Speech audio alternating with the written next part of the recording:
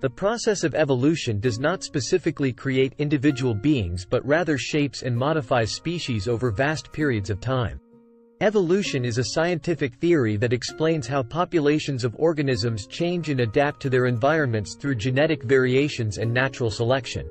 The concept of evolution is rooted in the understanding that all life on Earth shares a common ancestry.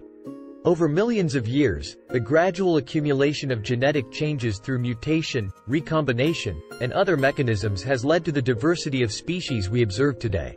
Certainly. Here are some points to expand upon the topic of how evolution created us. 1. Genetic variation. Elaborate on the sources of genetic variation that drive evolution, such as mutations, gene flow, and genetic recombination. Discuss how these processes contribute to the diversity of traits within a population and provide the raw material for natural selection. 2. Adaptation. Explore the concept of adaptation, whereby certain traits become more prevalent in a population over time due to their advantageous nature.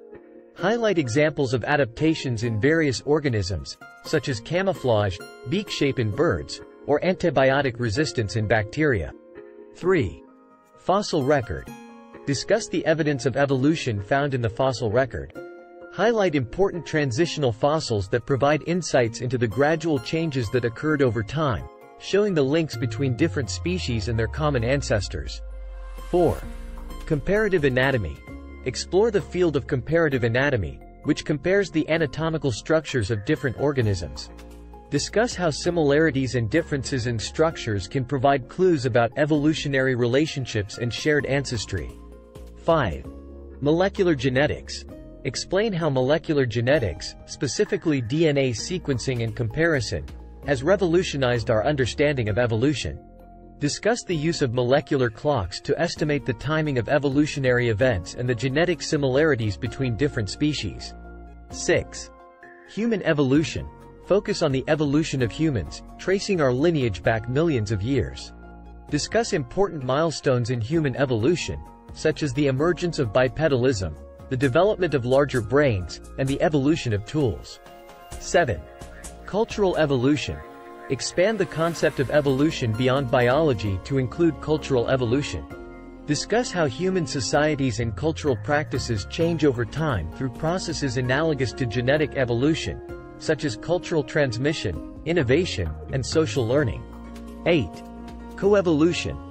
Explore the concept of coevolution, where two or more species evolve in response to each other.